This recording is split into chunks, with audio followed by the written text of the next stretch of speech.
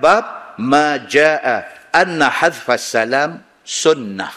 Dia tebak yang datang pada menyatakan bahawa bagi salam hendaklah dengan bersegera dan itu sunnah Nabi. Kita dah habis dah baca bacaan tahiyat. Terus ada buat relax lah. Bagi salam tu ya. Ada orang dia lagu satu macam yang ambil masa kunyunya kosong. Nak baca pun at-tahiyatul mubarakatus salawatut tayyibatu lillah. Assalamu alayka ayyuhan nabiyyu wa rahmatullahi wa barakatuh. As oh kalau dia jadi imam naya kita. Sampai dah habis dah baca fil alamin innaka hamidum majid. Tak bagi salam lagi. Aku tunggu. Assalamualaikum. Bagus ke dia ni? Ha, itu persoalan dia. Bagus ke dia ni? Ni dia main tajuk kat kita. Dia kata apa?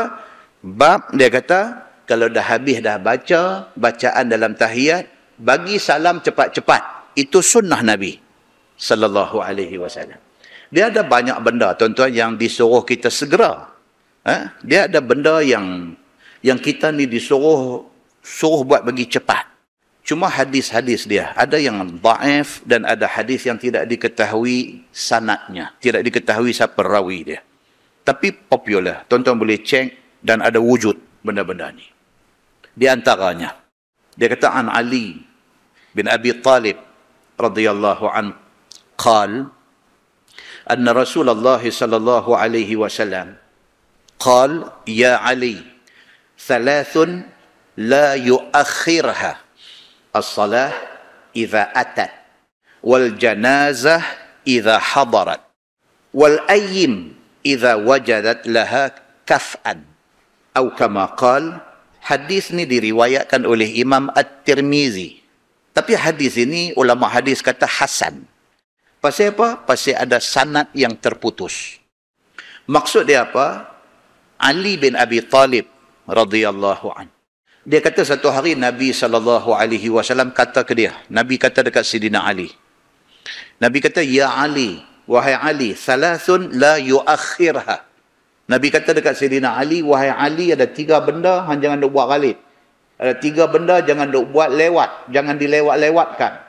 Yang pertama as-salah iza atat. Semayang bila dah mai waktu dia. Semayang. Pasal apa?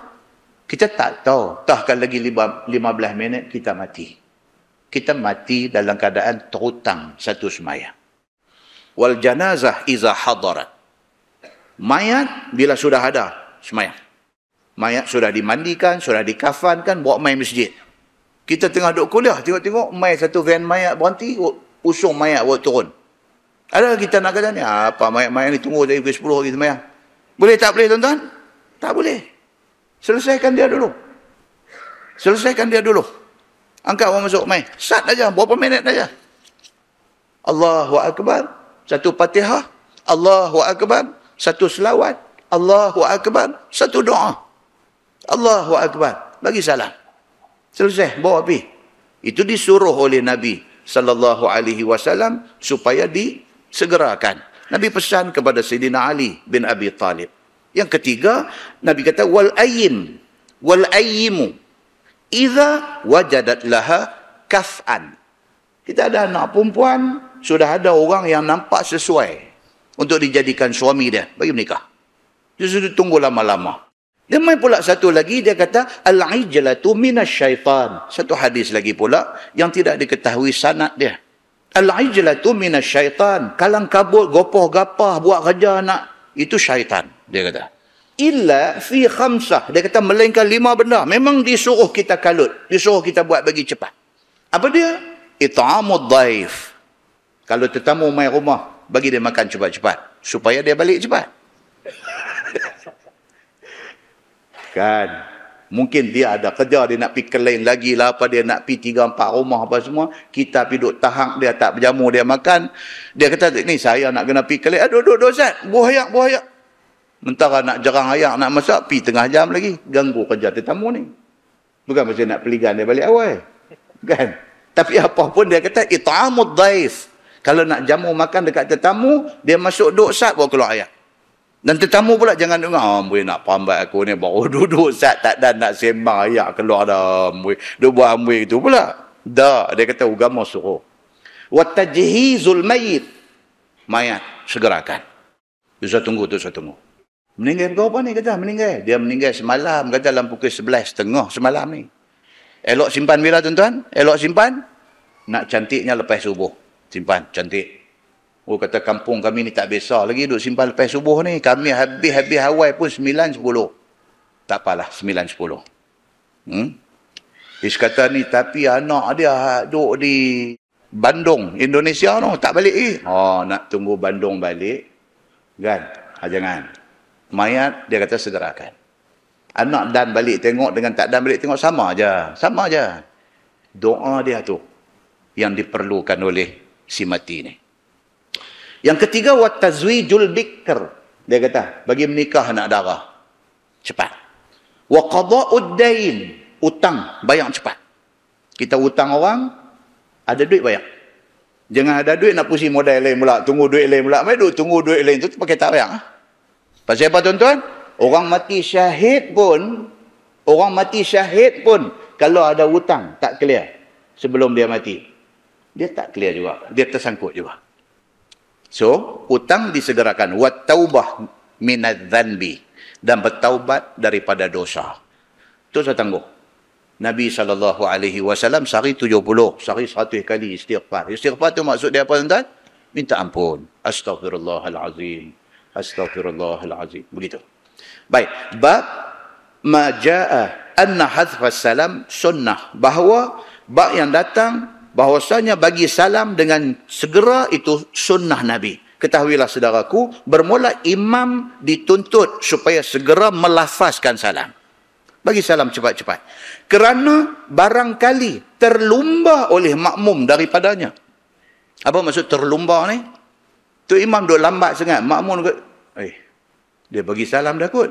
Makmum bagi salam. Assalamualaikum warahmatullahi Assalamualaikum warahmatullahi Baru tu imam bagi Assalamualaikum warahmatullahi Punggah dia kata.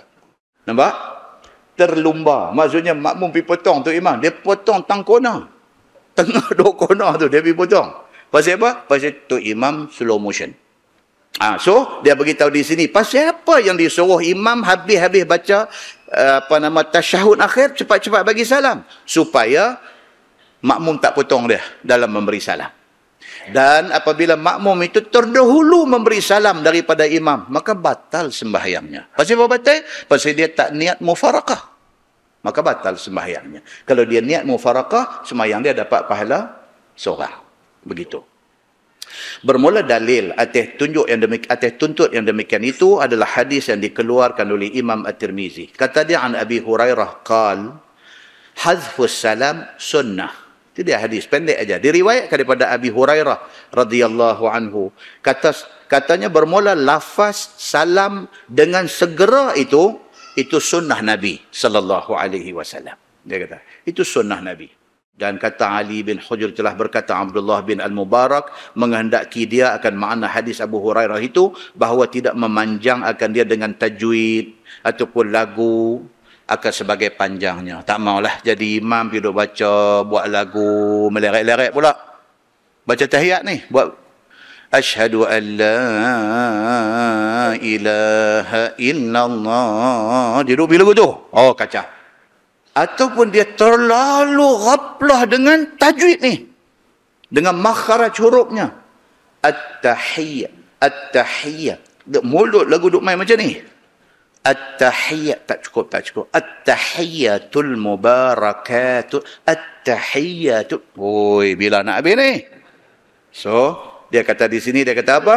Dia kata janganlah tu imam ni sampai duduk raplah dengan benda-benda yang macam tu.